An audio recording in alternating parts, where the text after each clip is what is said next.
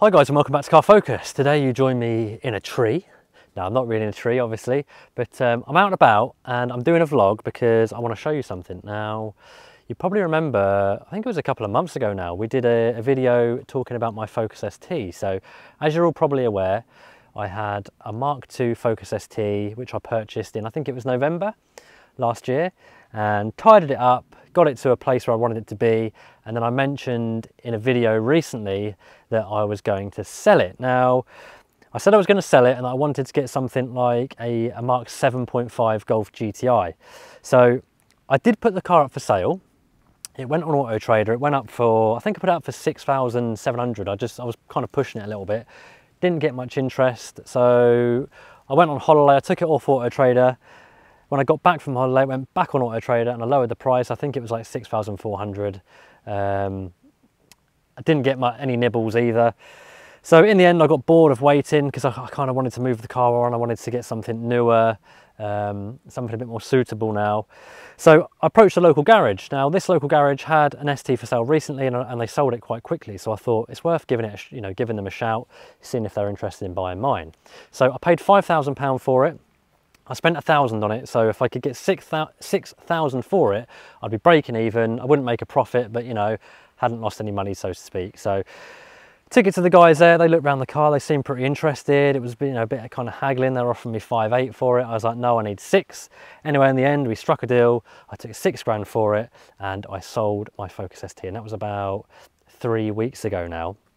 And they've already sold it. They had it up for, I think they had it up for over seven and a half thousand and they've already sold it. So yeah, but they could offer warranty and stuff and I was happy to get six for it. So had a bit of fun with it.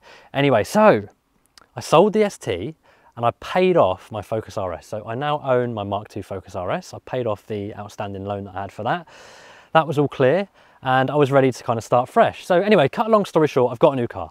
I've got a new car. It's literally just over here and I'm going to show you around it. And it's not a Golf GTI but I think it's actually better than a GTI. It's cheaper than a GTI, it's very similar to a GTI, but it's more powerful than a GTI. And I'll, I'll, I'll, move the camera around so you can see it, and then we'll flip the camera around and we'll have a look around the car. But there it is. It's a Seat Leon Cupra 300. Let's have a look at it. So here it is guys, my 2018 Seat Leon Cupra 300. This car's finished in mystery blue. It's a five door, which was one of the, uh, the things on my list to fit the criteria. I've got a toddler and I don't want to be messing around with a three door. I think the five door actually looks pretty good. I don't mind five doors now or two. I don't mind them at all now and they're just far more practical. So we've got 19 inch diamond cut alloy wheels. These are the same size as the RS and these have got Continental tyres on them. Front tyres were actually a bit low when I went to look at the car. So when they did the the health check, they actually replaced the front tyres and stuck some brand new Continental Sport Contact 7s on there. So bonus. Yeah, so have a quick look around the car. It's just your, your standard kind of Seat Leon Mark III styling, just with a few added extras. I've got the air conditioning on, it's really hot. You've got these really cool DRLs, and then we've got LED headlights as well, which are really good in the dark. We've got the Cupra badge there again. Yeah, just a really good looking car, guys. And compared to the Golf GTIs that I was looking at, the Mark 7.5s, this is a bargain.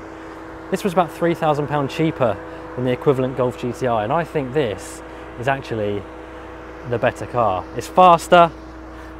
It's a little bit different. You know, GTIs are quite, they're quite common. You don't see as many of, of these on the road, I don't think. But yeah, really happy with my decision. Now inside it's pretty nice as well. There's not much in terms of quality. Uh, in comparison to the Golf. Doesn't give too much away. We've got half Alcantara seats with Cupra branding there. We've got various displays. We've got sport information here, your G meter, oil temperature. It's all customizable as well. There's so much you can change on here. And we've got a digital cockpit as well, which is also an addition to the 7.5 GTI. Six-speed DSG, the 290s come with a seven-speed DSG now. That was one of the, uh, the changes made to the slightly later 290s. Alcantara door cards. We've got ambient lighting in here at night and you can change all the colours of that. Carbon fibre or faux carbon fibre inserts there as well. Nice steering wheel, leather trim with the Cupra badge as well at the bottom there. Flat bottom, so a bit sportier than your norm. We've obviously got dual climate control. We've got winter pack on here as well, so we've got heated seats, headlight washers, parking sensors all round, front and rear, and then in the back, quite nice and spacious. Kind of buckety seats in the back there with the Alcantara trim for each seat. Nice big centre armrest, and we've got two cup holders there, and you can adjust these for the size of the cup. Got a little ski hatch there if you want to stick some skis through there.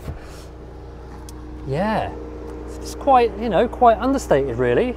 It's a bit of a sleeper because I tell you what guys, this thing is rapid. Now in the boot, decent sized boot. I don't know the exact specifications, but um, yeah, it's more than sufficient for your day-to-day -day needs. It does actually sound quite nice because this doesn't have a GPF. I, that's another reason why I didn't want a 290 because I didn't want a GPF. I wanted the full 300 and I wanted the, the pops and crackles and the big old DSG farts as well.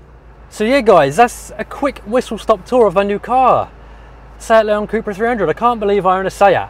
Um, I've been a Ford man for like 19 years. I do still own my Mark II Focus RS, that's staying. But as a daily driver, I am loving this thing. It's just super smooth, it's super easy with the DSG gearbox. It's rapid. It's got Apple CarPlay, cruise control, all the mod cons. I've not had this stuff for a good few years now as I've been dailying old Fords and I've just been lacking these creature comforts. So I'm really enjoying my time with the car. It's good on fuel as well. It's over 30 miles to the gallon. Um, yeah, it, ju it just does everything really well. And I think long term, it's going to be a really nice, usable daily driver. Um, we will do more videos on this. I'll do a driving video talk about its performance, um, what it feels like compared to our old Golf GTI, and yeah, just just what it's like to drive really. So it'll be a bit of a review coming up in the future, and maybe a few other videos with it as well. We'll see what happens, but. Um, yeah, in terms of modifications, I don't really think I'm going to modify it. I might just keep it as it is and enjoy it, sort of as Seat intended it. Um, yeah, you never know though. Never say never and all that, but at the moment, at this moment in time, I'm going to keep it as it is. So yeah, whistle stop tour of my Seat Leon Cupra 300. Let us know what you think of it, guys. You know, like I say, for me it was a no-brainer. Three, four grand cheaper than a Golf GTI, quite a bit cheaper than a Golf R.